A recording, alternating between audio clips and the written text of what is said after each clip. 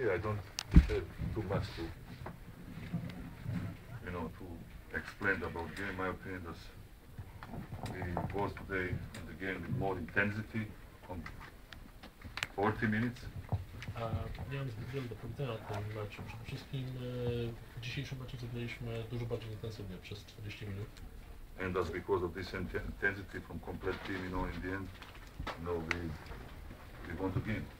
A i przez to, że cały zespół przez 40 minut grał tak intensywnie, No. dlatego wygraliśmy. Now it's one, one, one. What is for us important, fast to come in balance. This means mentally and physically, because we have well, this playoff is, you know, competition, you know, very hard, and we want to be ready for next game. Jest 1-1, co jest dla nas bardzo ważne, to jak najszybciej wrócić do równowagi fizycznej i psychicznej, bo już niedługo czekają nas następne mecze. A, I to jest bardzo ważne, żeby być gotowym na te mecze, żeby je wygrać. No.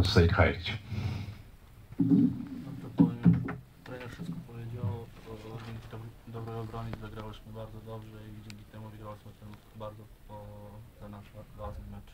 Dziękuję. Czy są pytania?